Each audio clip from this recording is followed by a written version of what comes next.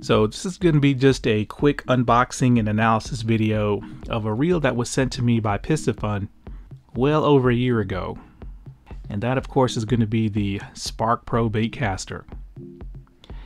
Now, they sent this to me the same time that they sent out their Alijoz 300 swim bait reel, but by the time I got around to doing this video, I saw that the reel was put on clearance on Piscifun's website, so I thought it was being discontinued. So I didn't want to do a video on a discontinued reel, but it turns out that not only is this reel not discontinued, it's actually discounted to a really, really good price. So I figured I'd go ahead and knock this video out and let everyone know that this reel is still available on Piscifun's website for only $40 at the time of this recording. So let's get to it. I'm a big fan of Piscifun because it's a company that had the guts to send me products knowing that I do compare them against competitor products, even putting them in cast battles where we have winners and losers, and they were completely okay with that. So all you had was paperwork in the box, but let's check this reel out. Boom! Look at that.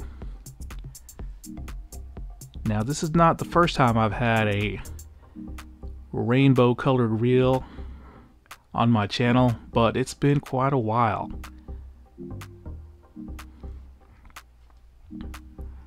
All right, very, very smooth.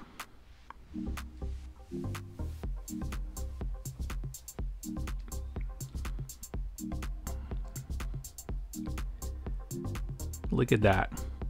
So this is very similar to the Revo Ike as far as color goes that sold for like $250 while this reel is only $39.99 right now. So if you look at that spool, it looks pretty shallow and it's heavily ported. So you might think finesse reel, which is what I'm thinking. Now it's kind of deep to be bait finesse, but look at that. Purple accents, spool tension, knob end caps on the spool and it's just enough purple not a whole lot to overpower the reel but it feels solid very smooth to turn the handle now I think when these came out they were like 89 or 79 dollars so at 39 dollars this looks to be an absolute steal. But let me do my customary inspection. I'll take some notes and then we're going to get some weights.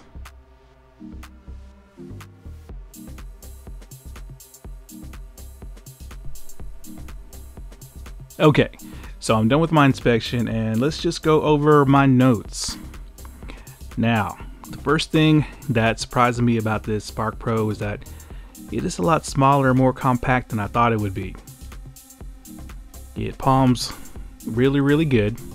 I mounted it on a rod and it's very comfortable to palm. Now I will say that me personally, I do feel this sharp seam right here, but it's not uncomfortable. Now it's not the most low profile reel out there, but I'm gonna compare this reel to the current Curado 200M just to give you I guess, a view of just how big or small this Spark Pro is. So you can see it's definitely shorter than the Curado M. They're about the same width, but it looks, I don't know, it looks to be a little bit lower profile.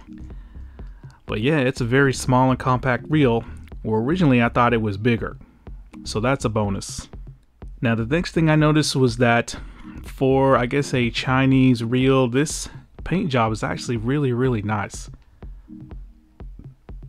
the quality of it is actually surprisingly good especially considering how low this reel is selling for right now but I didn't see any kind of irregularities no paint bubbles no pieces of debris caught underneath the paint. And just to compare, I guess, the rainbow effect of this paint job, I brought out my Abu Garcia Revo Ultracast BF8 as a comparison, and you can definitely see that the Revo has a more quality paint job, at least the finish is. But it should, considering this reel costs about $200. But there's definitely more blue and purple in the Spark Pro, where you can kind of see some green in this Revo. But yeah, very, very pretty and very quality paint job on this Spark Pro. Now, the build quality on this reel is also surprisingly good. I mean, I don't hear any kind of crazy noises, no rattling, no clacks, no gear meshing. The thumb bar, solid, no mush. Now it does make a little click just before it actually depresses. I don't know if you can hear that. Now that could be just my particular reel, but overall build quality on this thing is outstanding. So what I'm gonna do now is I'm gonna quickly go over the specs on this reel, and to do that I'm bringing the box back out. So as you can see it comes in both left and right hand retrieve. Looks like it comes with 12 bearings. I don't know if it's 12 plus 1 or 12 total, including roller bearing. But the only retrieve ratio is 8.1 to 1 in both left and right. There's your inches per turn of the crank handle. There's your max drag, 16.5 pounds, which is a lot. It's supposed to weigh 6.1 ounces. We'll check that later. And check this out. Now the spool looks shallow, but look at the amount of 10 pound line it's supposed to hold, which is 145 yards. So that's only 10 yards less than the Curado 200. I'm not sure how accurate that is, but the reel is made of all carbon, so the frame and the side plates are carbon, and pretty much almost everything clicks. So of course, Dragstar clicks. Dragstar is made of metal. Spool tension clicks. It's kind of a soft, muted feel, but the drag does not click or does not have a clicking drag. Now, of course, the brake dial also clicks. But some other features of this particular reel is that this one comes with a 90 millimeter carbon fiber handle with these power knobs or power style EVA foam knobs. And the foam is actually nice to touch. Feels like high density, so it's not that scratchy, rough feeling foam. And I don't know if you guys can tell, but it's got a small tapered line guide. Now the opening is not nearly as wide as some other reels, but it's better than nothing. There's the other side of the line guide. So I mean for 40 bucks, it looks like you get a whole lot of reel, but I did want to say one thing. Now on Piscifun's website, it looks like the Spark Pros they have for sale come with flatter knobs, the flatter paddle type knobs, which I feel to be more comfortable, and they come with a metal handle instead of carbon fiber, which I actually prefer as well. Carbon fiber is kind of played out, especially the generic carbon fiber handles you'll find on a lot of these reels. So that being said, let's see just how much or how little this spool weighs.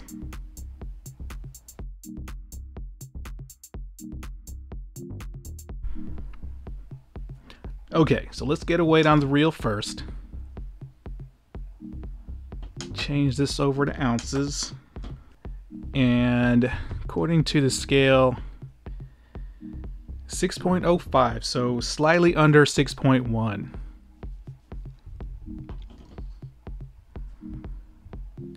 So yeah, this reel is pretty lightweight. So small, compact, comfortable to palm, and pretty light.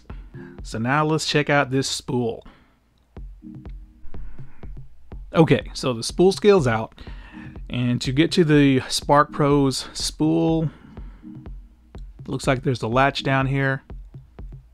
And takes a bit of effort to turn. And you just pull the side plate out. And let's check out these brakes. Looks like a standard Magtrax style static magnetic system that you find on most of the world's baitcasters. It's got a total eight magnets and the amount of adjustment you get with this external dial is 30 clicks. So a lot of adjustability, but with this being a Magtrax style system, I don't think you're probably going to be able to get too deep into the brake settings, but I could be wrong. All right, so let's pull this spool out. And oh, look, they are going with a short spool shaft. The spool shaft actually looks like it's steel, not aluminum. Feels kind of heavy. Now there's the bearing, but let's see what the scale says. Okay, wow. 12.22 with the bearing. So of course I'm gonna pop that bearing off. Okay, so the spool bearing's off and let's see what the scale says now. 11.05 grams. So this spool really reminds me of the spool of the Tsurinoya XF50, where it's not quite shallow enough to be considered bait finesse by today's standards, but it's not a really deep spool either, but it's also light.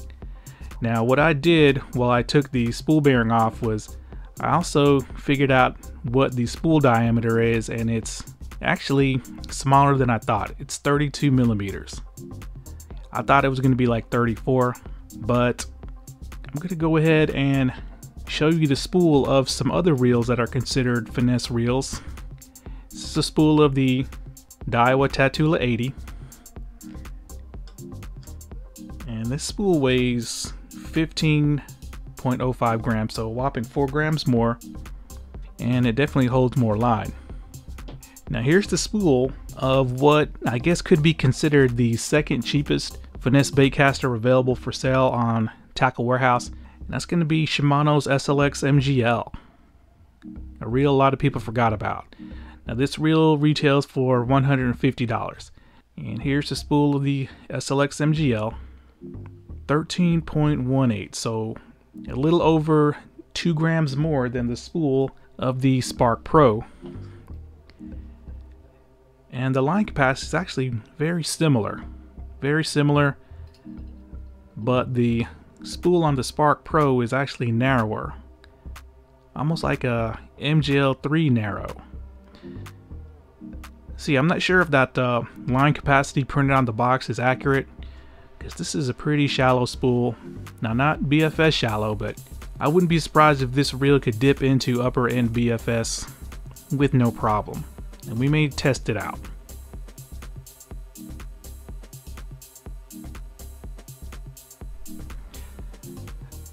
So there we go, the Piscifun Spark Pro. And I can say that this reel has surprised me in a lot of ways. First of all, it's smaller and more compact than I thought it would be. The spool is smaller and lighter than I thought it would be. And the build quality is a lot better than I thought it would be. I mean, this reel is smooth.